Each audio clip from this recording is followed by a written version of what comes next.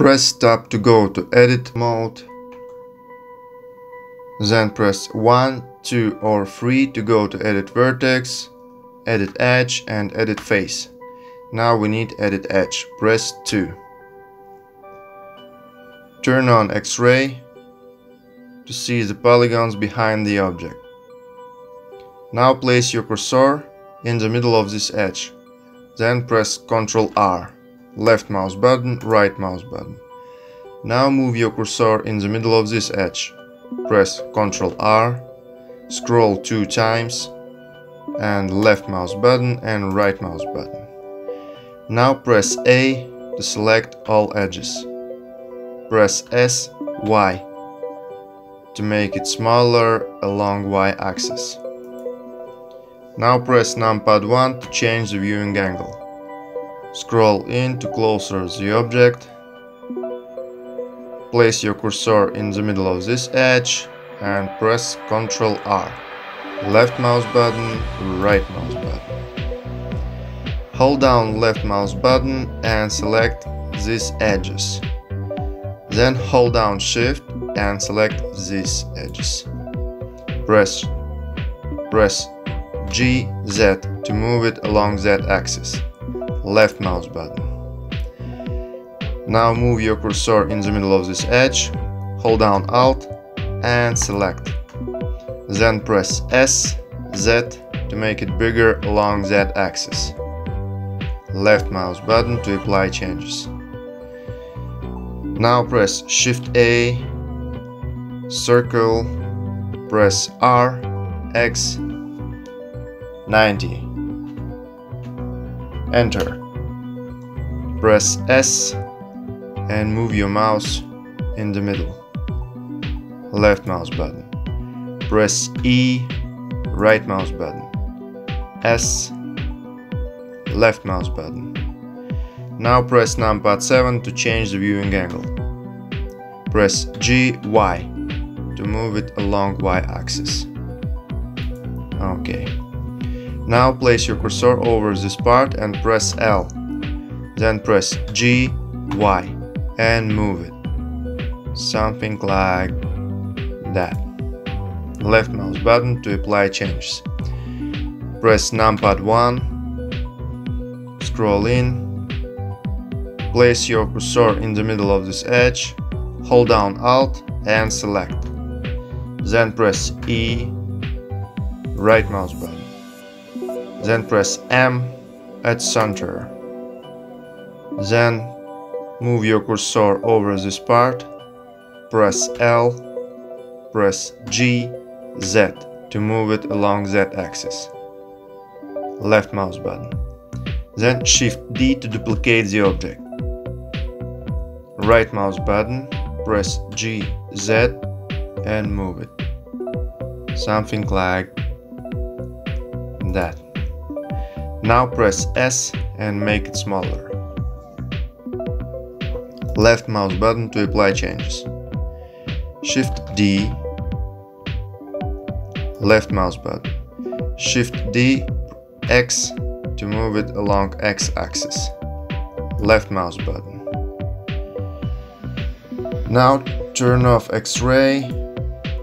Hold down middle mouse button to change viewing angle and press 3 to go to edit face then first select this face then hold down shift and select these faces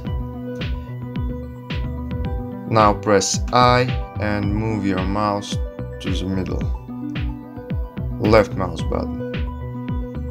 Press I again and move it a little left mouse button. Now move your cursor over this part, press L, L, then this L, and this L. Press numpad 7, press G, Y, and move it along Y axis. Left mouse button. Now press 2 to go to edit edge enable proportional editing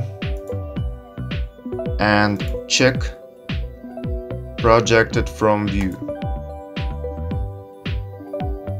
Hold down left mouse button and select edges in the middle. Press G, Y. You can also increase the coverage area of polygons by scrolling, something like that. Okay. Now disable proportional editing. Press A. Hold down middle mouse button to change the viewing angle. Okay. Now place your cursor in the middle of this edge, hold down Alt and left click. Then press S and make it bigger. Left mouse button to apply the changes. Now move your cursor in the middle of this edge, hold down Alt and left click. Press Ctrl E, mark seam. Now go to material properties and create two new slots. Select second slot. Move your cursor over this part in 3D viewport. Press free to go to edit faces and press L. Click new change color something like that more metallic.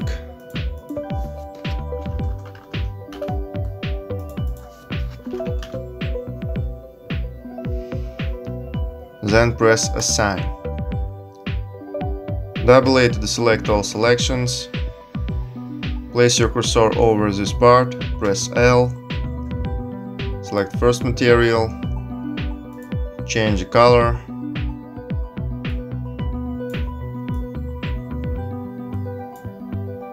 and press assign. Move your cursor in 3D viewport, double A to select all selections, place your cursor over this part, press L, then this L, this L, and this L. Select third material, click new, change the color and press assign. Now press tab to go to object mode, change the viewport shading, scroll out, hold down middle mouse button and press R, Z to rotate it around the Z axis. Press numpad del to focus to the object. Then press right mouse button on your child and select Shade Smooth. Hold down middle mouse button and ready. Now you can safely shout for the Alliance or you can change the color